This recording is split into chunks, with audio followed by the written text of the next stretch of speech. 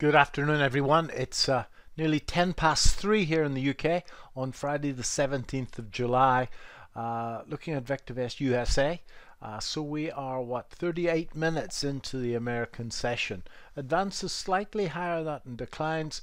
Uh, market hasn't moved much. Uh, in fact, uh, the S&P 500 is up three ticks and the Dow Jones down 35 ticks. So fairly flat open. Uh, nevertheless, all the uh, metrics on VectorVest are good. Uh, and as you can see, short-term trend is up, longer-term trend is up. all of the measures of the market uh, positive on VectorVest. The advice uh, VectorVest advocates buying safe undervalued stocks that are rising in price at this time. So uh, quite a positive situation uh, and I just want to look uh, at uh, that's the SPX, that's a five minute chart of the SPX as it's trading at the moment. Uh, uh, very sideways day yesterday, a very difficult day. Those of you that know my work will see the spring and I bought the darn thing uh, somewhere down around there yesterday and I closed it out uh, before the end of the session for a couple of ticks profit, nothing worth. Uh, uh, I, I will be tempted to buy into this again if it breaks up uh, through these new highs uh, in in the next hour or so. So that's what the market has done today. That that pennant is normally reasonably positive. So uh, let's look at the Vector VectorVest composite, folks. And the Vector VectorVest composite, as you can see, is breaking up. It's doing its best to get through this June the 9th high. I think it was June the 9th, June the 8th high. Uh, at the same time, however, the buy-sell ratio can't come to the party. So there is a, a warning signal. I spoke about this last week, folks. Uh, just remember uh, that uh, the stock market is like a huge cinema uh, with a huge screen and one little door at the back to get in and out.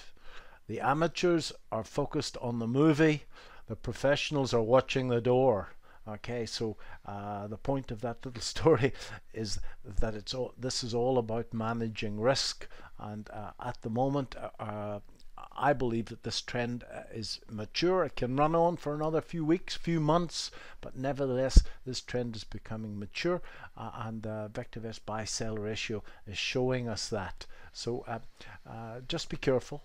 Uh, but nevertheless, all looks good for the moment.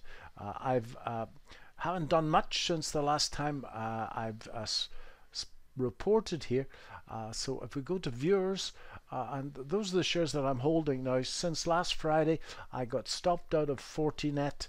Uh, and I got stopped out of, you know, you're getting too old to do this when you can't remember what you've been stopped out of. Uh, Fortinet and DXCM, I got stopped out of both of those uh, at entry. Uh, and uh, since that, I bought into COOP, which comes uh, out of my DEW Swingers watch list, and I bought into Horton uh, because it was a high VST stock. Uh, Horton uh, and uh, Coop, let's just have a look at those. If I chart those for us, that's Horton, folks, and Horton. I just couldn't resist this uh, textbook cup and handle pattern. I should have been in much, much earlier. There's the DEW signal. Uh, pushing up here. That's the signal I've been using in this particular campaign, as I've explained on here many times. Uh, but uh, this uh, rounding bottom. is not much of a rounding bottom, I know, but uh, uh, and then the handle across here, and I bought into just above 60. Uh, stop loss, effective stop loss was down around there. I elected to have a tighter stop loss. Stop loss underneath those lows plus a little bit and I'm hoping today before the end of play that I'll be able to take off a little bit get my stop to entry and just let that one run uh, so just remember uh, the story of the cinema, folks. It's all about managing risk and managing aggress risk aggressively. Nobody knows what's going to happen next on a trade by trade basis, uh, and our focus should be on perfect execution of this one particular trade in relation to our trading plan. At the moment, my trading plan, when I've made as much as I've risked, I um, take half off uh, sell half that means in trader speak and get my stop to entry. The second half goes great. If it doesn't go big deal. Uh, so uh, and we move to the next one. That's Coop and Coop I couldn't resist this pullback Uh, that's what Mr. Wyckoff used to call a sweet spot when pulls back to that last old top. And I should have, in fact, bought that level, but I was sleeping. I was doing a TV show for my friend Larry Pesavento, tfnn.com, and I bought a break of that high. Uh, it took me in, in fact, a couple of days ago. So uh, that's what I've done uh, since the last time I spoke. And I'm still holding Square, I'm still holding TTD, it's been great. Still holding Lulu. GDX I'm holding, a Microsoft for a very long time, and I, it seems as if I'm married to AMD. I know, uh, but I'm still hoping that the darn thing is going to break out. It charted an inside day yesterday, as did the general market and uh, let's see what it's done today uh, and it's broken up uh, out of that inside day it's tried to break out here as you can see here uh, once twice three times and I should have broken there on the fourth attempt but the darn thing didn't. It needs to break very quickly indeed. It's it's wearing out my patience again. You can see the cup and the handle and there's a huge target in this. It needs to break first.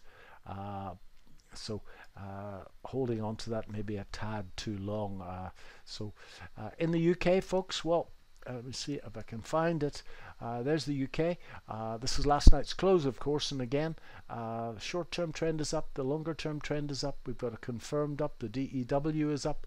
Uh, however, uh, the conviction of the short-term trend as measured by the color guard is not great and VectorVest advocates caution when buying stocks at this time. Always best to be buying your stocks when the pointer is in the green. That means that the short-term trend is up and it's up with some momentum.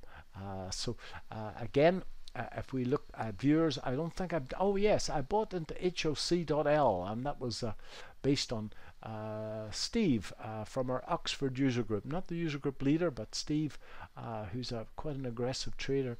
And uh, he, when I saw it, uh, I missed it, but uh, it was a, a textbook spring. And those of you who don't know what springs are, especially those people that are doing the precision swing trading course, you'll know all about it on Wednesday night or Tuesday night. market moves up nicely like this, it comes back once.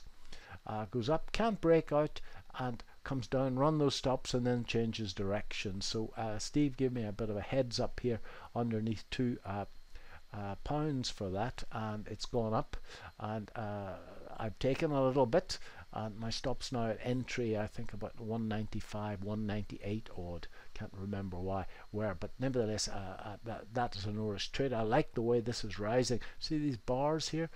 this is rising strongly uh, on rising volume always a very good sign so uh, the target on this and the measured move folks would be that this in fact repeats on the upside and wouldn't that just be great? That would take us up to 230 or 240 that would just be great.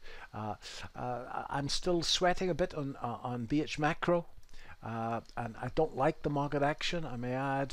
Uh, that's uh, BH macro. If we look at it uh, bought into it here and just about flat. I don't know what it's done today but I don't like the way this is pushing up on falling volume and I need to be very careful with that in the, in the days ahead.